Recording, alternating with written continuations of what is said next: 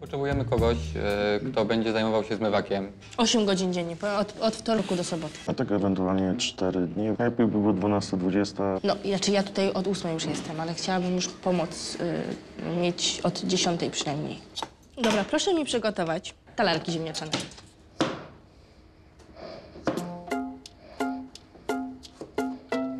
Dobra, okej, wystarczy dziękuję bardzo. Dziękuję. No talarków to na pewno nie umiem. Nie, no daj mi spokój. Ale co było nie tak z tym krojeniem? Nierówne, byle jak. Wolno. Leniwe wyglądu. Ja mam wrażenie, że ty do leniwych nie należysz. Nie. Znaczy to różnie.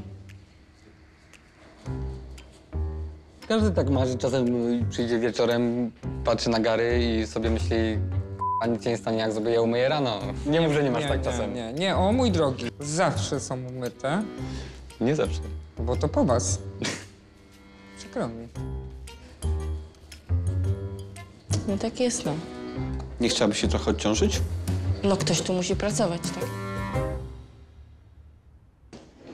Ja w sprawie ogłoszenia o pracę Zgadza się. na pomoc kuchenną. E, teraz pani pracuje gdzieś? Tak, pracuję w barze. Jakie tam pani ma obowiązki? Pracuję na kuchni, pomagam kucharce, y, robię placki, surówki różne. Czy zmywak e, kuchenny też? Nie, nie. Pomoc kuchenna to jest pomoc kuchenna. Okej, bo my szukamy pomocy i zmywaku. To znaczy nie, nie no. To są y, jakby dwa etaty.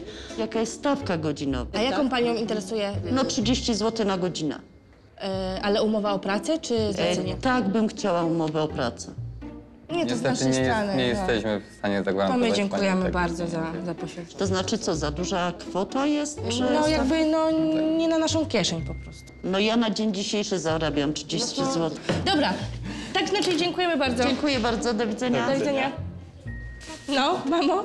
No pani była bardzo cwana. Tak. Ale skoro ma taką pracę za takie pieniądze, to faktycznie niech ją trzyma. No dokładnie. A ta pani ile by w takim razie u was zarabiała? Bo to mnie zastanawia. No, około 5 tysięcy złotych.